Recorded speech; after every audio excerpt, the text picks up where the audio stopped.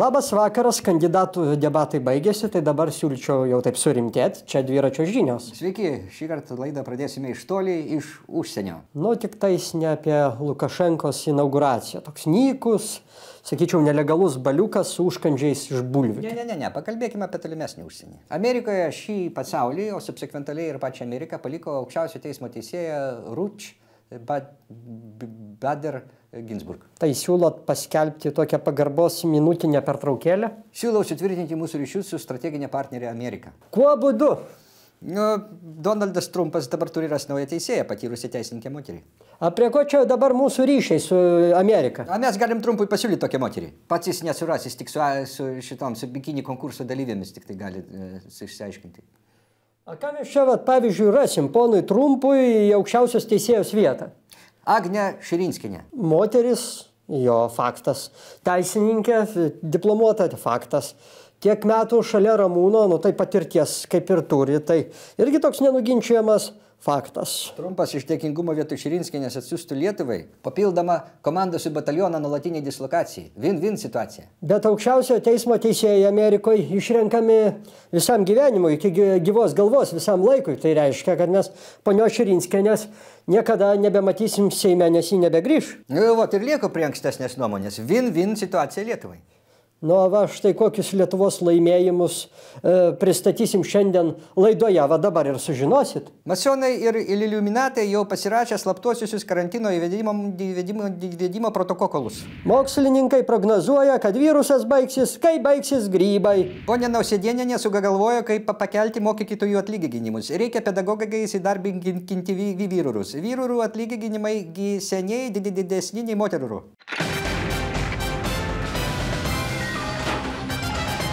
Maužerį vakar važiavau su taksi ir... Ir nuo kada čia pats toks bagotas esate, kad taip su taksais jau važinėjat? Surškenį iš kirpyklos vežiau. O, o jį su šukuosena nauja atsisakė lipti troleibuse. Bet pasakykit, ką aš jums pasakysiu. Tiek taksistas man, tiek kirpėjas Surškenį visiškai tą pačią identišką informaciją pateikė. Kokią informaciją?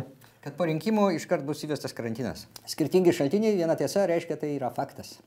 Ko jūs, gerbiamasis, klausot kažkokių miesto plėtkų? Jūs klausykit, ką rimti, rimti žurnalistai praneša, kurie nu patikrina tos faktus prieš skelbdami juos į eterį.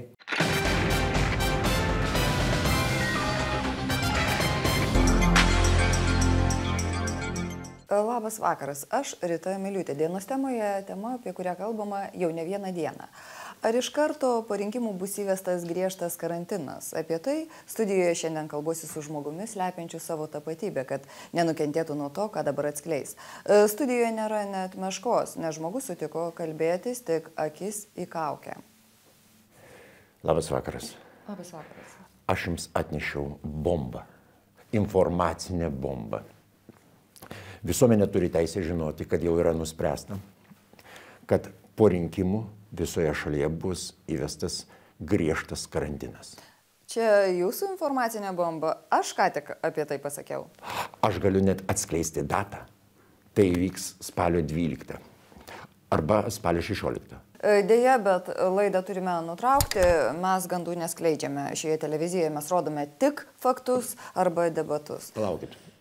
Yra labai aiškus dokumentai, kur viskas surašyta. Protokolas su aplinkrašiu ir tie dokumentai guli raudoname veršelių odos sektuve. O tai jau įdomu, tęsime laidą, turime teisę sužinoti daugiau.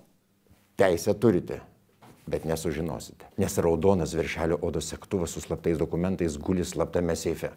Slaptos seifo slaptą kodą žino tik ministras Veryga. Ir dar vienas įslaptintas žmogus. Iš kur jūs visą tai žinote? aš žinau ne tik tai, aš žinau, kad tas slaptas seifas yra slaptame būte, o tas slaptas būtas yra neskelbiamame mieste. E, Jūs pats matėte tą raudoną sektuvą su slaptais protokolais? Taip, tik ne savo akimis. E, Aš pažįstu žmogų, kuris matė. E, Sektuvą ar jame esančius dokumentus? Seifą su verygos kodu. A, jūs pažįstate žmogų, kuris matė seifą. Negarantuoju, kad patį seifą, bet e, matė tą būtą.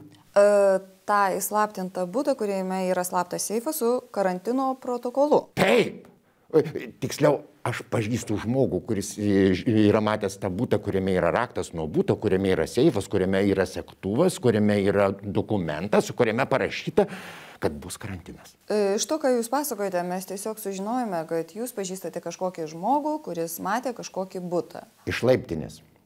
Duris matė, viduje nebuvo. Bet aš to žmogum visiškai pasitikiu. Tada dar paklausiu, iš kur žinote, kad sektuvas, į kurį sudėti karantino protokolą, yra iš veršelio odos ir raudonas? O iš kur jūs žinote, kad jis nėra raudonas? Aš nežinau. Nu, todėl likite prie mano informacijos, jinai yra išsamesnė negu jūsų. E, kitas klausimas. Oi, atsiprašau, pamiršau išjungti garsą. Oi, atleiskit, turiu atsiliepti, labai skubu, kirpėjas skambina. Taip, klausau, labukas. Užsirašyti, kodėl paskubėti? Bus karantinas greitai. Uh, gerai, tada uh, šeštai dienai ir šeštai valandai. Šiandien šeštai ir spalio šeštai. Uh, ačiū. Iki. Uh, tęsime laidą. Kitas klausimas. Atsiprašau. Tai treneri. Ne, šiandien ne mano treniruotė. Bus karantinas, uždarote salę po rinkimų. Mm, gerai, tada ateisiu ir šiandien.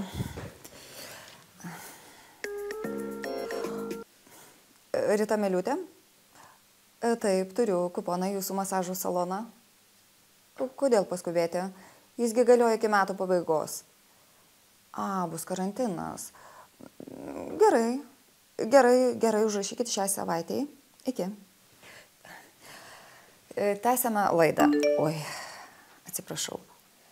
Manikiurininkė parašė, kviečia susitvarkyti nagus iki nepaskeltas karantinas. O, tada aš turėsiu laidą baigti, nes turiu jau bėgti. E, turėjome teisę sužinoti, sužinojome ir dabar nežinome, ką su ta informacija daryti. Iki.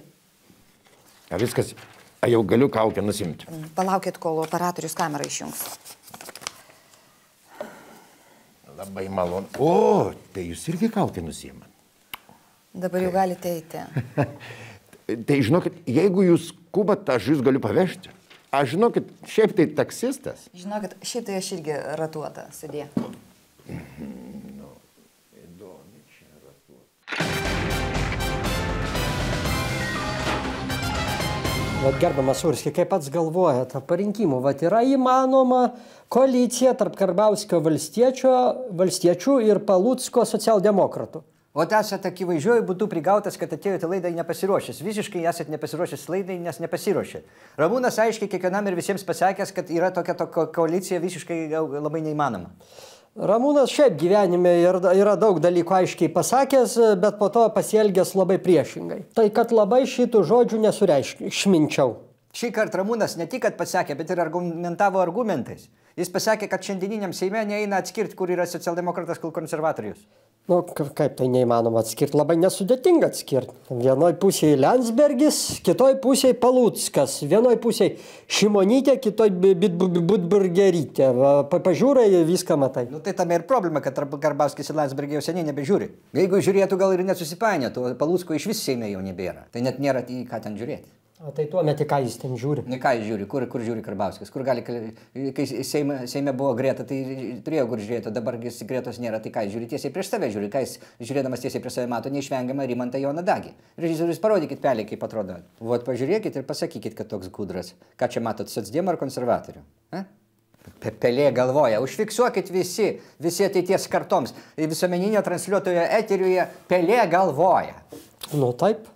Žinot, šitas atvejis tikrai yra toksai įdomesnis, nes gerbiamas ponas sugebėjo savo laiku ir pastos, ir pastos pabūti, nes savo laiku tai jis ten vadovavo kažkokią savo socialdemokratinę partiją turėjo, o dabar įkūrė ten kažkokią krik krikščionišką va, partiją, įkūrė sąjungą bendrai ten, jis sąjungą. Va, va, va, va, ką reikėjo įrodyti. Viskas susimaišė, viskas neaišku kur kas, viskas susipainė, neaišku kur kairė, kur dešinė, visa teisybė tik tai paskrabauskė kišenį pupso. Nu jo, jeigu Seimo salėje viską matuoji tik stebėdamas Rimantą Joną Daginų, tai tikrai nebeaišku, kas yra kas. Žinokit, vakar stebėjau debatus. Ir žinokit, buvo dagys. Buvo, jo, jo, mačiau šiaip ir aš.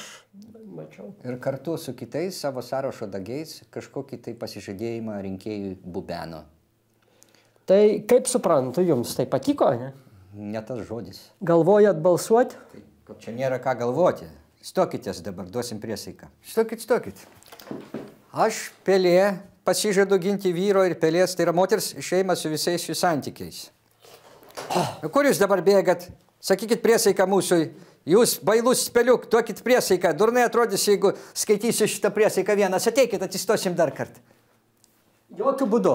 Čia jums ne debatų studija.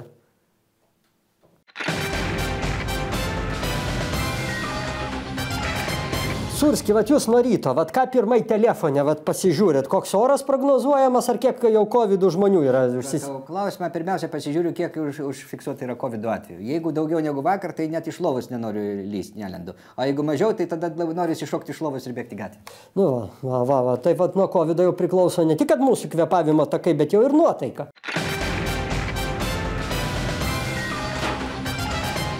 Operator, o tu ką grybauji? Aš nesuprantu, turbūt aš vienintelis žmogus Lietuvoje, kuris negrybauja. Nemėgstu aš grybaut. Ką, aš per visą gyvenimą vyro nei vieno neradau, tai ką čia aš grybų rasiu? Nu gerai, ne apie grybus čia šiandien kalba. Pradedam. Sveiki. Tarp jūsų laida, tarp mūsų mergaičių. Vyriausybė nusprendė pirkti skirtingas COVID vakcinas iš skirtingų gamintojų už skirtingą kainą.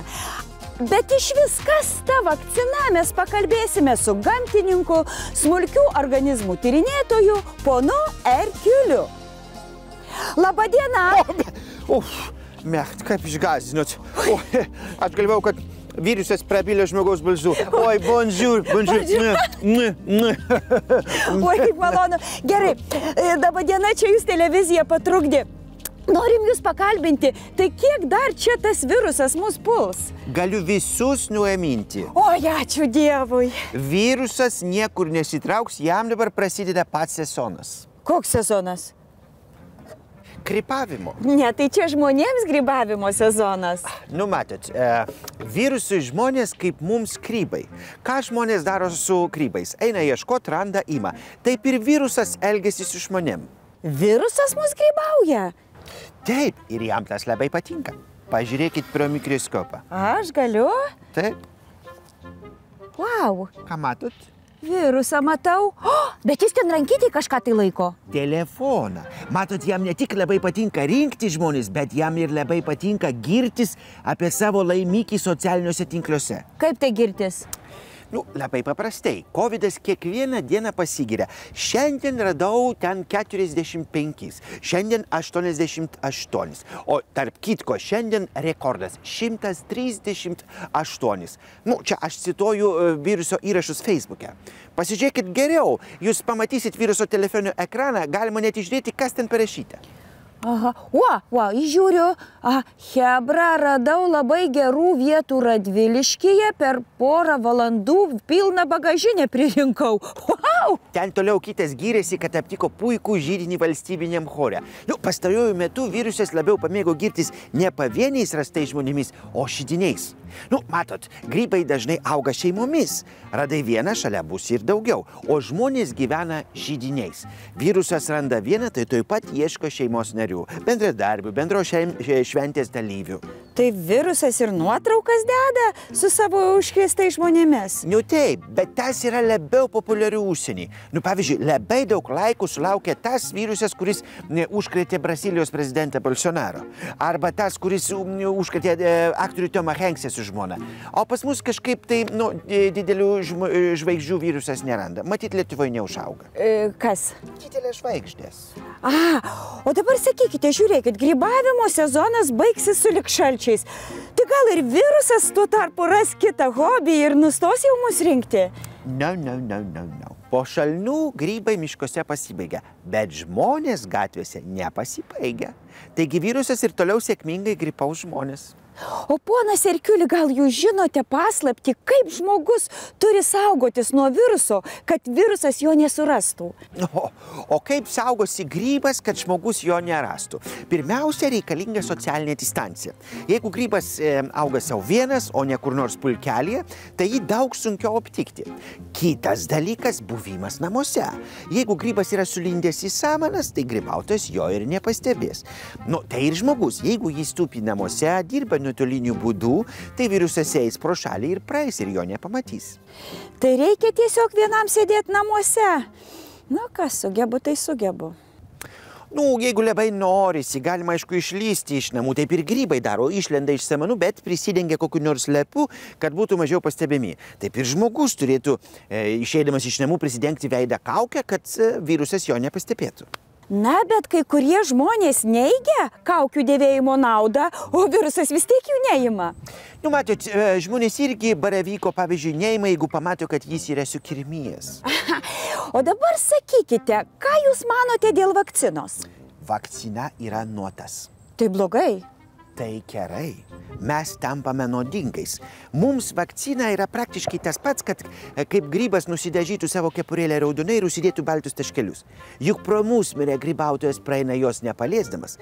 Taip ir virusas praeis pro pasiskiepijusį žmogų visai jo net nepaliesdamas. Na tai kągi, ponė Erkiulį, labai Jums dėkoju už išsamius atsakymus apie vakciną ir tarp Jūsų buvo laida tarp mūsų mergaičių. Dabar, š, š. Užsidėkite kaukę ir nejudėkite.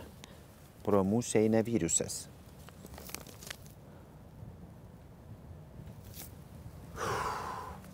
Atrodo, šį kartą praėjo. Bet aš garantuoju, kad ir vėl sugrįž. Reikia mums lysti į samanas, tiksliau į safyrį izolaciją. Oi, pusė, nepalikit manęs. Nepalikit manęs. Nepalikit.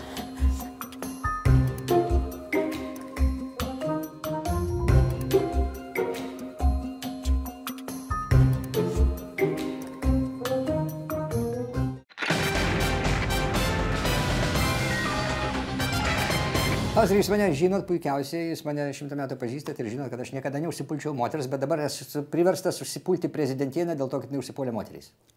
A čia jūs dėl jos tos kalbos Lietuvos davose, kur sakė, kad ten 79 procentai Lietuvos švietimo sistemoje yra moterų ir dėl to yra blogi e, egzaminų rezultatai. Taip.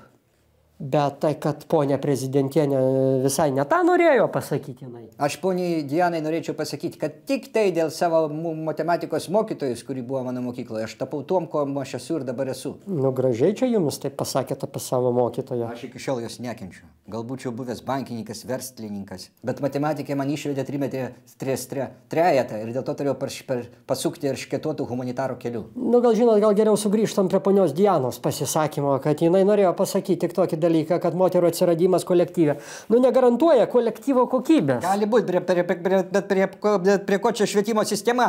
Svarbiausia gyvenime dalykų mokykloje aš išsimokinau kaip tik vat, iš vyrų profesijos atstovų. Tai buvo kas fizrukas, darbukas ir karinio rengimo instruktorius. Kuzminas. Pas mus kudutis. Žiūrėkit, vyriškos lyties vyrai, va švietimo sistemoje va dabar yra tokia kaip ir retenybė. Anksčiau tai gal buvo toksai dažnesnis atvejis, dažniau pasitaikantis. Aleksandro Makedonskio mokytas buvo Aristotelas. Aristotelas, kaip žinia, lyg tai buvo vyras, jeigu ką. Ir pažiūrėkit, kiek daug Makedonskis savo gyvenime pasiekė. Jis pasiekė net Indiją. Nu tai ir Lietuvoje prie Smetonos mokyklose buvo daug vyrų mokytojų. Tik prie Rusova e, mokytojas pasidarė tokią profesiją, netekėjusios moters profesiją. Nu, vat štai, įrodėm ir savo, ir poniai Dianai, ir žiūrovui, kad prasta švietimo situacija Lietuvoje yra ne mokytojo sovietinės okupacijos pasiekmė. Šiaip tai kalti dėl visko yra mobilieji telefonai, nes vaikai, ne, ne, jie tik tokina, o nesimokina, va kaip aš pasakysiu. Gal čia biškė, taip nukrypom, sakyčiau, gal nuo temos, gal grįžtam prie jos. Tai ko ponė Nausėdienė, va taip gerbiamas moteriškės užsipuolė jūsų galvą? Nepasitikė. Kaip nepasitikė? Nu, taip, jūs, va, pavyzdžiui, būtumėt mo, bo, bo, bo, moteris ir turėtumėt tokį aukštą ir gražų vyrą. Jūs kitomis moterimis irgi nepasitikėtumėt, net savo draugėmis. Moteriškas instinktas. Saugot vyrą savo vyrą nuo kitų moterų. Pasisakydama apie švietimą, ponė Diana iš tikrųjų pasisakė, kad nausėdas komandoje neturi būti moterų. O tai kiekvieną kartą rytą išlydėti į darbą tai yra didelis stresas kaip moteriai. Tai vadinasi, toje nerišlioje kalboje pirmoji ponia sakė, kad myli savo sutoktinį ir niekam jo netiduos. Taip, mes jau užsipoliam romantišką moteriškę. Atsiprašom, ponė Diana. Mes tikrai atsiprašom, tikrai daugiau to pasižadam nebedaryti. Užspauskit tik. tai. Va, viskas. Na, praėjo.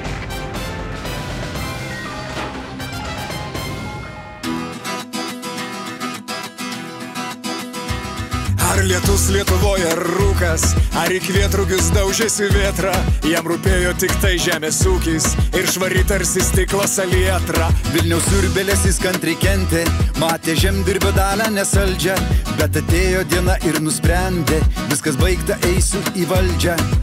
O valstieti, tu mane nugalėjai, tuos bjaurybės konservus į vietą padėjai.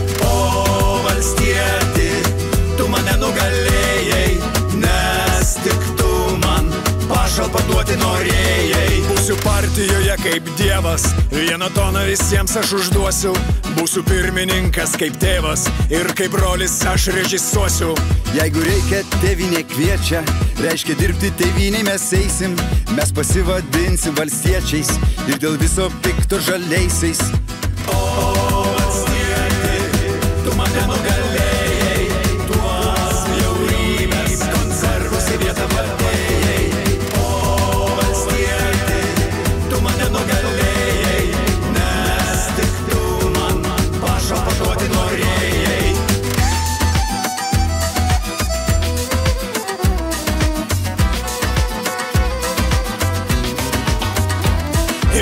Ir valstiečiai į Seimą suplūdo iš pačių atokiausių rajonų ir pradėčiau rekovą panūdo, jie dėl šnapso ir embrionų.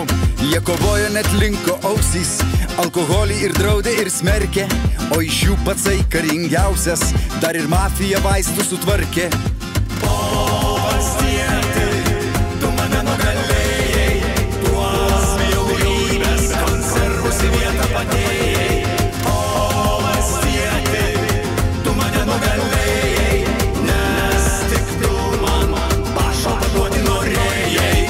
Kiša pašalpą seniui ir vaikui, kiek čia iki rinkimų beliko. Nieko tokio, kad skolintis reikia, pašalpoms ir daugybei dalykų. Juk valstiečiai šiandien nedurneliai, jie sušaukti komisiją gali, kad tik tai nedulkėtų kelelis, kurio veda į Seimas bernelis.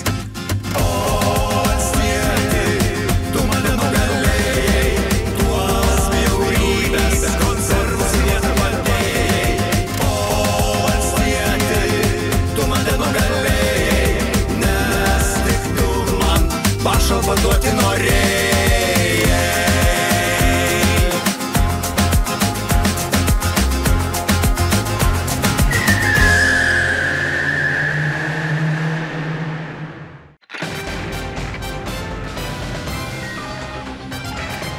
Ačiū žiūrėjusiems dienos apžvalgą, visą savaitės apžvalgas sekmadienį vakare. Nesirkit. Hm. Nes jeigu sirgsit verygą, tada, ka- karan... jeigu nesirgsit, tai, yra, tai negalės kaip verygą karantino įvesti. Nu, mes gal šitą surskio motivacijos valandėlę ir baigiam laidą, tai iki pasimatymo. Po to klausimas meninį turiu.